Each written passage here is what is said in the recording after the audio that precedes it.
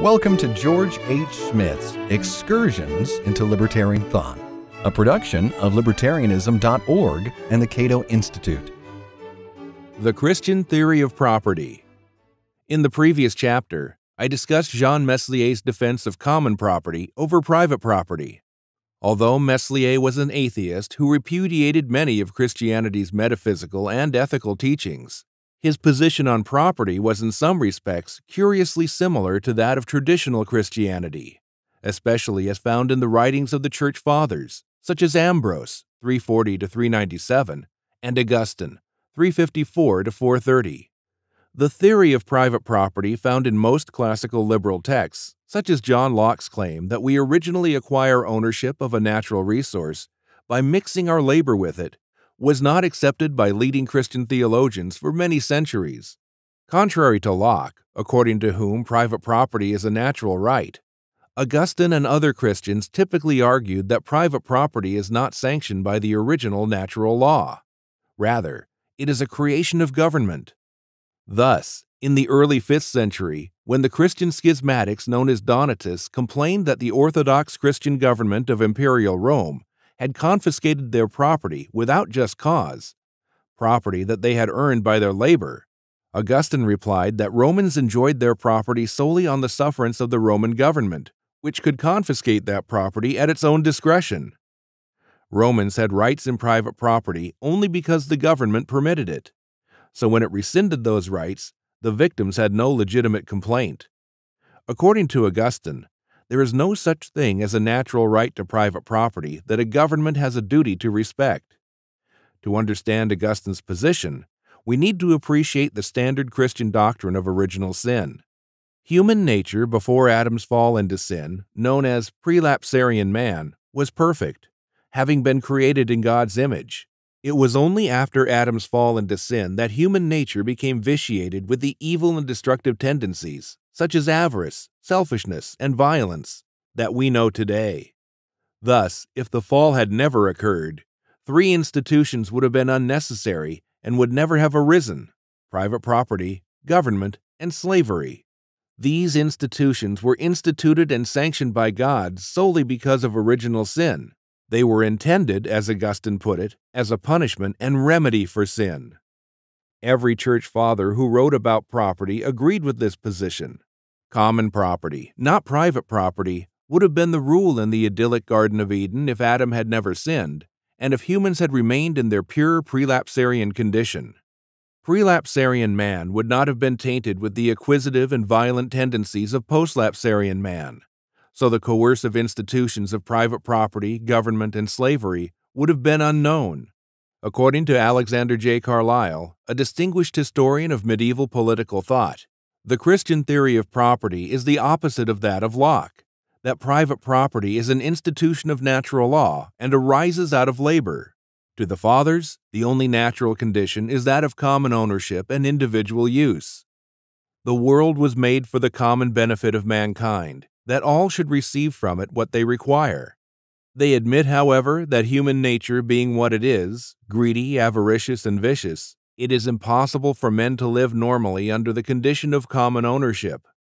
This represents the more perfect way of life, and this principle was represented in the organization of the monastic life as it generally took shape. For mankind in general, some organization of ownership became necessary, and this was provided by the state and its laws which have decided the conditions and limitations of ownership. Private property is therefore practically the creation of the state and is defined, limited, and changed by the state. Christian theologians did not oppose private property, government, or slavery. On the contrary, these institutions were specifically mandated and authorized by God for corrupt human beings, even though they were not part of the original or primitive natural law. Charles H. McIlwain explained this point in his classic work, The Growth of Political Thought in the West. The corruption of man began with the fall, and that corruption, the inheritance of all the children of Adam, created for the human race the necessity for coercive law and other like institutions. To supply the need, God gave man the Mosaic Law and sanctioned human laws and institutions necessary to curb the evils arising from avarice, violence, and other forms of vice. Coercive law is no part of man's original nature. It came as a corrective of conditions arising from man's fall from innocence.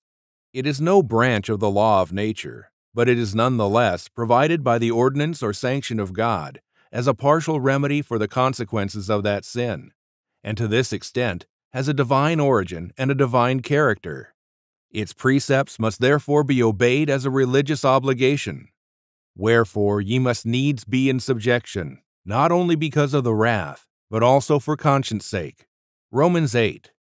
Jean Meslier, in effect, accepted the Christian teaching about the existence of common property in a prelapsarian society, but, having rejected the doctrine of original sin, he did not accept the Christian argument that private property was needed because of a corrupted human nature generated by Adam's fall. His stance resembles the position adopted by some radical Protestant sects during the 17th century, such as the Family of Love and the Grindletonians, who taught that prelapsarian perfection could be attained in this life. Without sin, private property would be unnecessary and undesirable. So such groups typically advocated a return to the primitive communism of prelapsarian man. Private property would be inappropriate in a community of saints. Common property was the ideal. As Ludwig von Mises noted in Socialism, an Economic and Sociological Analysis, many ancient civilizations believed in the romantic utopia of common ownership. In ancient Rome, it was the legend of the Gold Age of Saturn, described in glowing terms by Virgil, Tibullus, and Ovid, and praised by Seneca. Those were the carefree, happy days when none had private property and all prospered in the bounty of a generous nature. Modern socialism, of course, imagines itself beyond such simplicity and childishness, but its dreams differ little from those of the imperial Romans. The early Christian conception of a golden age was profoundly influenced by the writings of the Roman philosopher Seneca, a leading Stoic. Christians took the sketchy account of the Garden of Eden in Genesis and fleshed it out with the more elaborate description of the Golden Age found in the letters of Seneca. Seneca, referring to men in the primitive Golden Age, wrote this What race of men could be luckier? Share and share alike they enjoyed nature. She saw to each and every man's requirements for survival like a parent. What it all amounted to was undisturbed possession of resources owned by the community. I can surely call that race of men one of the unparalleled riches, it being impossible to find a single pauper. Before avarice burst on the scene, which caused people to claim exclusive property in land and other goods, and to covet luxury items that were unnecessary to fulfill their real needs. Scarcity, competition for resources, and violent conflicts were non existent. The earth herself, untilled, was more productive, her yields being more than ample for the needs of peoples who did not raid each other. All was equally divided among people, living in complete harmony. The stronger had not yet started laying hands on the weaker, the avaricious person had not yet started hiding things away to be hoarded for his own use, so shutting the next man off from actual necessities of life. Each cared as much for the other as about himself. Weapons were unused. Hands still unstained with human blood had directed their hostility exclusively against wild beasts. The early Christian view of property held sway for many centuries, though it was modified somewhat after the writings of Aristotle were rediscovered in the 12th century. When Thomas Aquinas, 1225 to 1274, having integrated many of Aristotle's ideas into his writings, discussed property, he treated it as a more natural institution than had many previous theologians. Nevertheless, Aquinas agreed that common ownership was the original condition of mankind, and this led him to argue that though the acquisition of property fulfills a natural need, such property, beyond what is needed for one's personal use, is legitimate only when devoted to the common good. Thus, we see how the prelapsarian notion of common property influenced Christian thinking about the proper uses of private property. Common property, though a thing of the past, remained an ideal in the Christian theory of private property.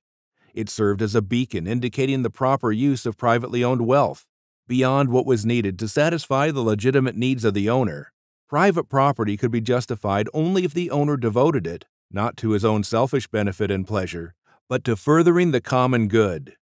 This was the original purpose of common property in prelapsarian society, after all. so the system of private property should emulate that function as much as possible. The traditional Christian theory of private property differed substantially from the theory embraced by most classical liberals and libertarians, whose approach may broadly be described as secular. The nature of those differences is the topic of the next chapter. This has been Excursions into Libertarian Thought, a production of libertarianism.org and the Cato Institute. To learn more about libertarian philosophy and history, visit www.libertarianism.org.